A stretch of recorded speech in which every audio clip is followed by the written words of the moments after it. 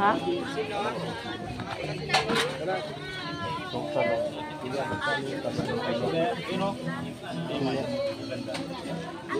mga anak, yung mukhaon nito. Ito, ang ganda ng talong-talong. Oh.